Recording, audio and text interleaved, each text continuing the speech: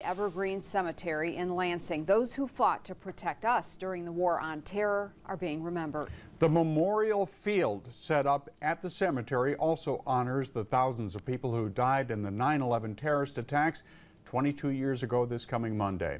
News 10's Jordan Burrell is live there right now to tell us more about how long this will all be set up. Jordan?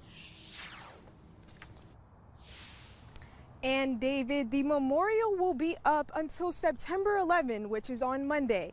These 230 flags represent a Michigan veteran that was killed in action. One of them, Justin Ellsworth, is buried in this cemetery. We talked to a veteran that visited today, and she says she can't put her feelings into words when looking at this memorial. It's a long time coming. Sorry. It's a long time coming.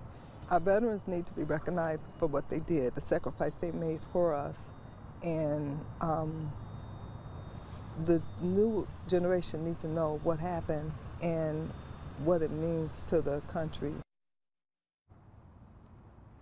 Organizers are encouraging people to come out and pay their respects and read the stories of the 13 veterans that were killed from Michigan from the Tri-County area, including Ingham, Eaton, and Clinton counties. We will have more from this memorial field on News 10 at 11. Live in Lansing, I'm Jordan Burrell, News 10.